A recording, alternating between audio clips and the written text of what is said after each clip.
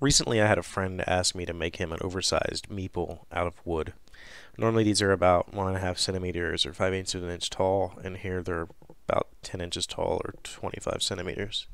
I had a lot of fun on that project, so I thought I would try with one of my favorite games, Imperial Settlers.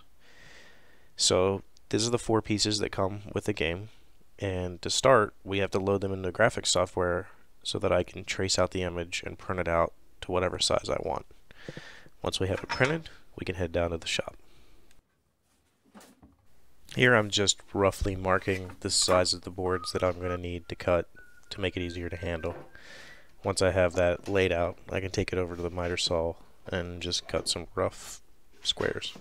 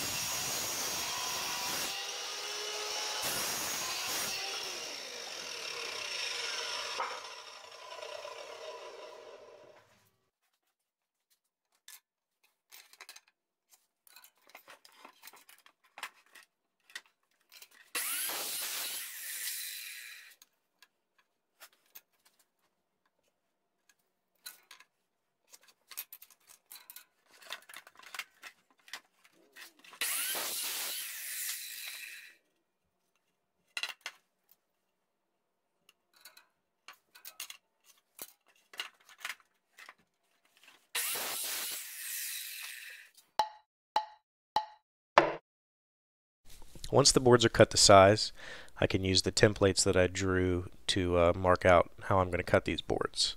The last time I did this, I traced the template with a Sharpie. This time I'm just going to glue the template onto the board and then cut using the template as a guide. I'm using a glue stick here to make it easier to pull off the template when I'm done so I won't have to do as much sanding to remove the paper.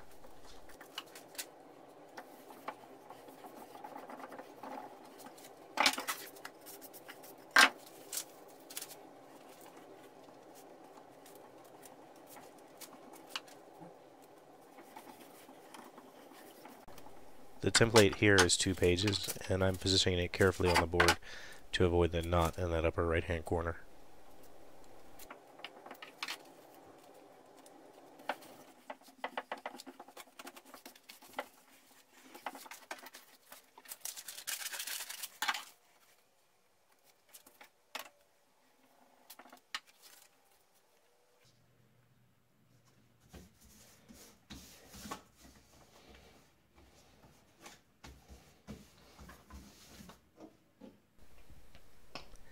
So we can take our piece over to the bandsaw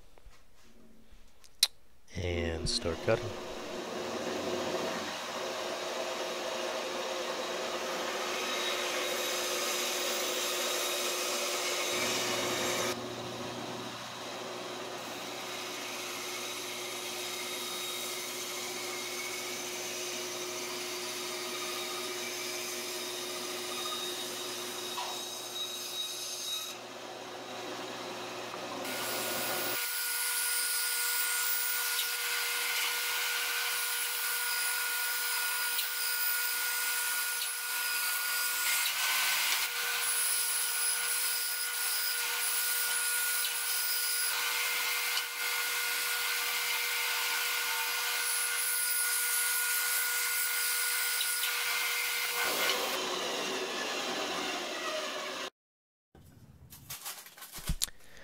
So as you can see, the glue stick worked perfectly.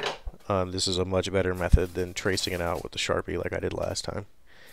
The paper peeled right off. There was a few little scraps, and I'm going to use a scraper to uh, take those scrap pieces off. But overall, this was by far the best method.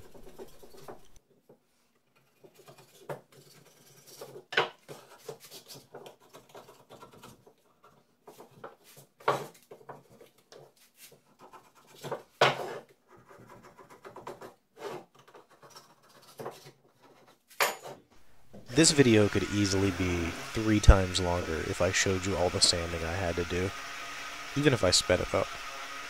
This just takes time. It's the most important part of woodworking.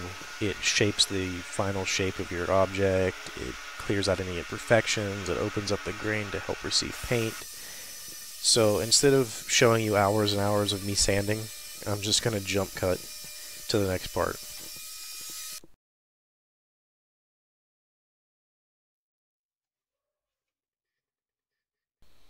So the pieces have been fully sanded and now I'm going to use this small handheld router to make the corners nice and round.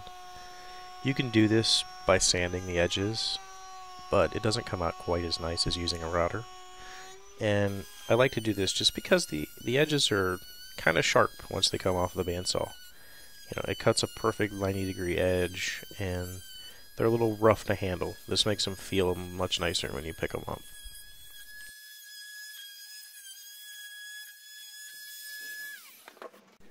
Before I paint, I like to seal the grain, and here I'm using shellac.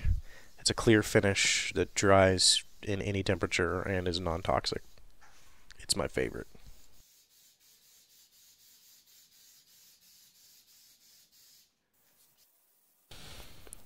I let them dry overnight, but I had moved them so we could pull the car back in the garage, and I stacked them up, and, well, they stuck together.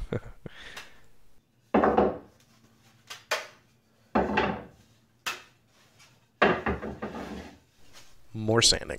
This is a finish sanding, so no more power tools. This is all done by hand with 220 grit sandpaper, and it just helps remove any imperfections from the shellac.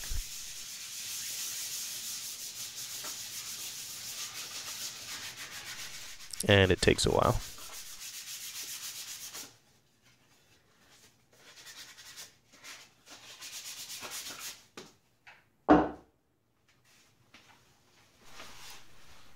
Now it's time to apply the first coat of paint, and I realized I didn't have any paint brushes. So here I'm going to try and use a paper towel to uh, just kind of smear the paint on evenly. I'm using general water-based acrylic craft paint. Uh, it's not the best paint for this application, but I didn't want to try and match color with artist paint, and I found that with this craft paint, it was close right out of the bottle.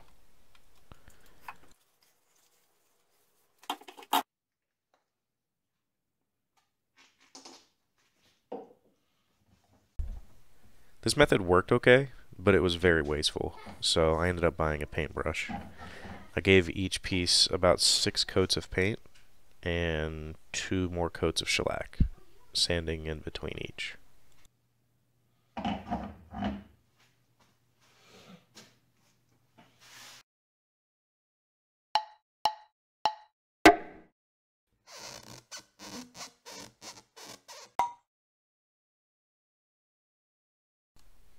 All done. They're a little bit bigger.